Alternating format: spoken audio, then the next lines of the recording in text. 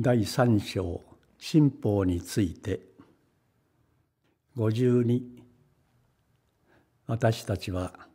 地上に幸福と健康をもたらす新法について語りたいと思う。今教会で語る者はいつの日かその誤りを取り消さねばならない。彼らも新法の外にいるわけではなく誰一人として新法を免れる者はなく特に一度霊の教えを聞いたことのある者はそうである。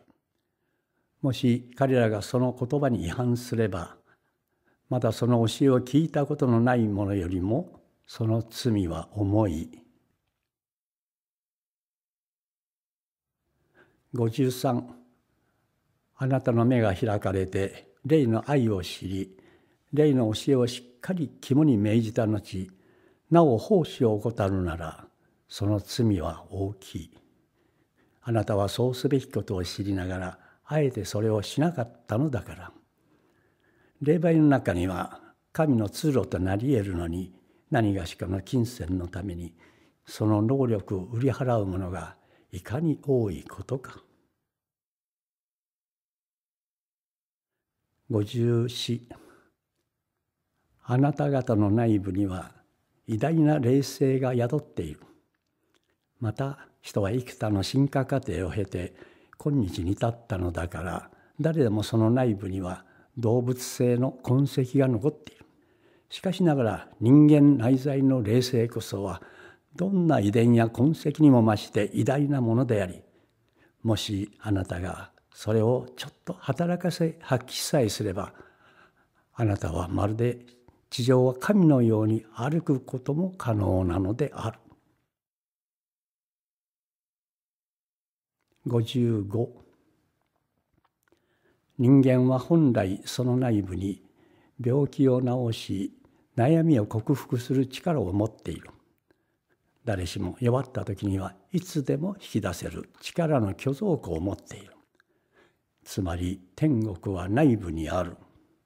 しかるに人はこのことをほとんど知っていない。この大河に接する道は新法に従って生きるより他にない。しかるに幾人がそれに従って生きているか。56人生はその行為だけでなくその言葉その試練からも成り立っている行為が全てと思ってはいけないもちろん行為は重要だしかし言葉と思念もものを言う悲しいかなあなた方の多くは思念の主とならずその奴隷となっている。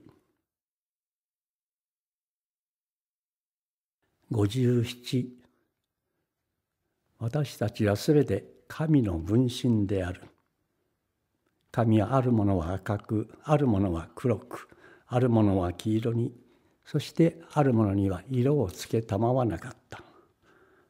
だがこれらのすべての色は神の計画の一部である。58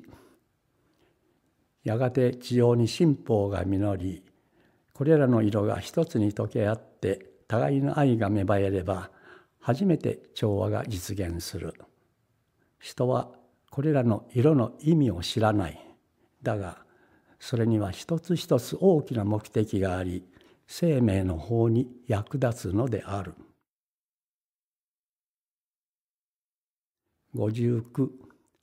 皮膚の色が一つに溶け合い